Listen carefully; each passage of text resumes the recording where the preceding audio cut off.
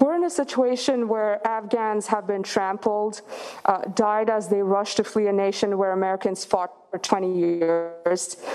American citizens are still stuck without safe passage. I understand that you agree with the decision to withdraw, uh, but in your assessment, what went wrong with the withdrawal? And I have a question for the Prime Minister as well. Uh, we understand you have offered help with evacuations, sir, but does the fall of Afghanistan 20 years after the US started military operations there to drive out the Taliban, does that change your calculus and on how you can rely on America as a partner in this region, both militarily and economically? Does that impact the credibility of America's foreign policy promises? So I, I, I understand and appreciate why you asked the question, and um, I think there's going to be plenty of time to analyze what has happened and what has taken place in the context of the withdrawal from Afghanistan. But right now, we are singularly focused on evacuating American citizens, Afghans who worked with us, and Afghans who are vulnerable, including women and children. And that is our singular focus at this time. Understanding that we have a priority in making sure that the people that, in particular, helped America achieve its responsibilities in terms of our priorities and the reason we went to Afghanistan in the first place, that we have a responsibility and we feel a deep commitment to making sure that folks who helped us are safe. But there's no question that what many of us have seen on television, as the president has said, I mean, the president has, I think, shown great emotion in, in expressing um, sadness about some of the images we have seen.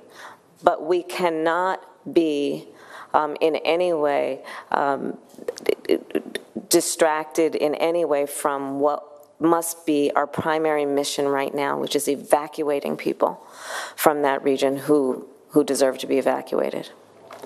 I think I already addressed the point you raised in my earlier remarks because uh, we are watching what's happening in Afghanistan on the TV screens today, but what will influence perceptions of U.S. resolve and commitment to the region will be what the U.S. does going forward, how it repositions itself in the region, how it engages its broad range of friends and partners and allies in the region, and how it continues the fight against terrorism.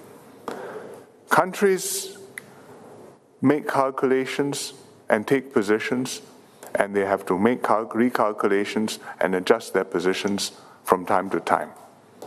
Sometimes it can be done smoothly, Sometimes there are hiccups. Sometimes there's uh, things go awry and take time to put right.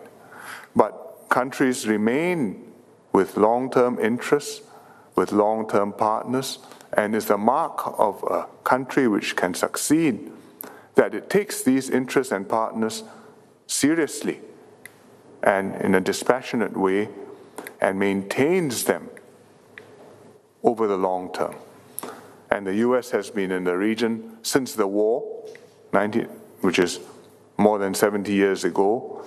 There have been ups and downs, there have been difficult moments, there have also been, uh, over decades, dramatic transformations in Asia, wrought by the benign and constructive influence of the United States as a regional guarantor of security and support of prosperity. And Singapore hopes and works on the basis that the US will continue to play that role and continue to engage the region for many more years to come.